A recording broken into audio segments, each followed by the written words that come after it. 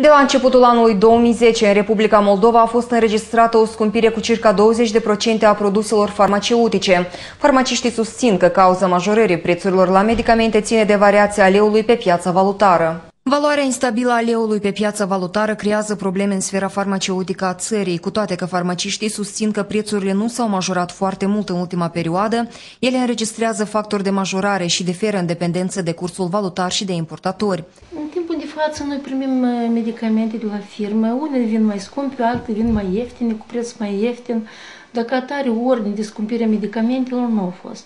Uh, firmele pun uh, prețurile la medicamente, după cursul valutar. Cum, dacă se mărește euro, văzut că ei pun prețul puțin mai mare. Cine e responsabil de majorarea aceasta, de variația sumelor? Competența Ministerului, competența Agenției Medicamentului, dar totuși, totuși prețurile le pun firmele. Da, s-au majorat, s-au majorat cu vreo 20%, altele și mai bine.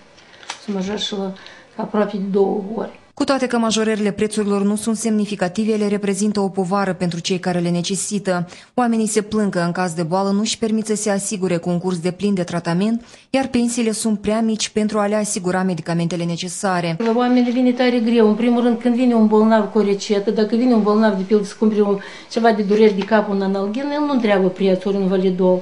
Dar dacă vin cu o rețetă de la medic, în primul rând fiecare vine și întreabă, să o câtiți, în cât costă. Stare scumpi, cu 500 de lei, ca eu mor de grabă și ca venit.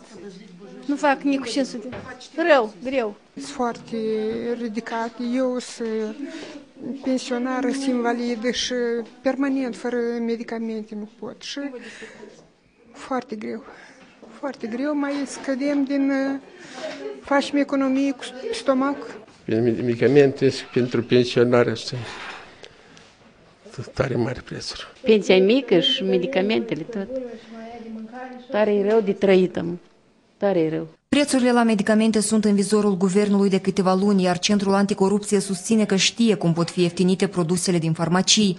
Autoritatea propune guvernului crearea unui birou de verificare a prețurilor care va elimina intermediarii. Deana Zăporojan, Mihai Moldovanu pentru știri.